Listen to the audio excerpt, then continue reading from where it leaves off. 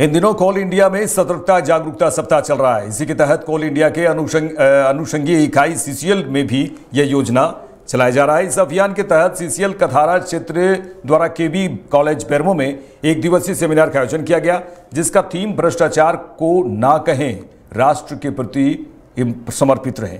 इस मौके पर कॉलेज के व्याख्याताओं और छात्र छात्राओं के बीच विभिन्न तरह के प्रतियोगिता का आयोजन किया गया। जिसमें विजेताओं को सीसीएल प्रबंधन द्वारा पुरस्कृत भी किया गया। मौके पर कॉलेज के प्रोफेसर के अलावे कॉलेज के तमाम कर्मचारी और कर्मियों के अलावा छात्र छात्राएँ उपस्थित रहे।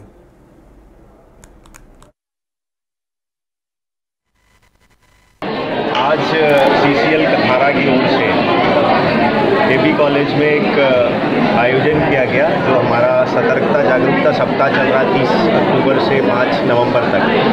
उसी के तहत एक कार्यक्रम आयोजित किया गया था जिसमें एक विषय रखा गया था बच्चों के लिए भ्रष्टाचार उन्मूलन एक चुनौती और अवसर ऊपर में यहाँ एक कार्यक्रम आयोजित किया गया था और मुझे बहुत खुशी है कि आज की युवा पीढ़ी ने इस कॉलेज में जितने विद्यार्थी हैं, उन्होंने बढ़ चढ़ कर इसमें हिस्सा लिया और भ्रष्टाचार उन्मूलन में हमारी युवा पीढ़ी एक महत्वपूर्ण भूमिका निभा सकती है और उसी के तहत यहाँ ये कार्यक्रम आयोजित किया गया था।